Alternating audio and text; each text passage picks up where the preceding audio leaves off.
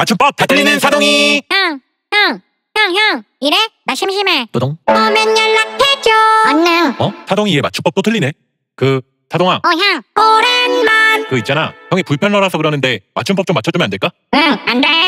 야 그왜 바쁘 작전 너가 자꾸 그러면 나도 맞춤법 안 맞춰야지 에? 어이없다.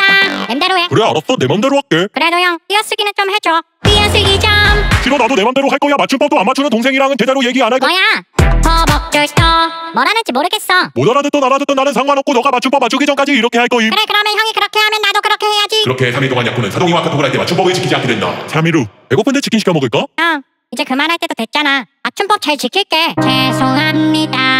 아니야 그냥 너 맘대로 말해도 괜찮아 진짜로 아니야, 그냥 너 맘대로. 마, 뭐지 이건? 이건 맞춤법이 문제가 아니라 그냥 암호 아닌가? 그러니까 내가 지금 딱 듣게 봐 그냥 형, 미안해 내가. 너동 그러니까 내가 잘하게 그랬니? 야구 딜코